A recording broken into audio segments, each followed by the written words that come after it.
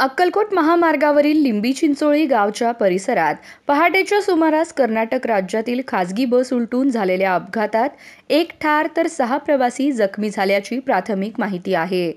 अक्कलकोटमधील श्री स्वामी समर्थांचे दर्शन घेऊन हे भाविक सोलापूरकडे परतत असताना हा अपघात झाला आहे.